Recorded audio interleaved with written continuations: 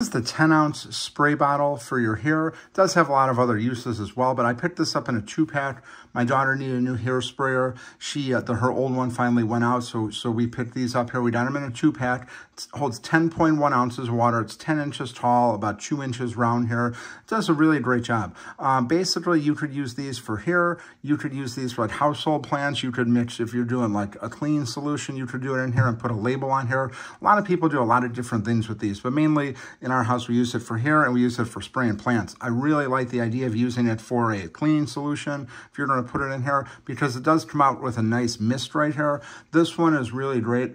Um, like I said, we had these before, lasted a really long time. So the one we we previously I was no longer available. So we found this one here. A lot of the reviews online were really good that the uh, the hose comes all the way down at the bottom. It's very easy to use. You can see here when you spray it, you get a really nice continuous mist. Just does a really great job. We're very happy with it. And again, it comes in a two pack.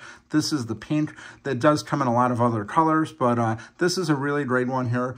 Easy to fill up made very nice, continuous spray. Again, we're going to use this for hair, but you could use it for plants, cleaners, things like that. So definitely want to check these out. It's a really nice item. You get them in a two-pack, holds 10 ounces.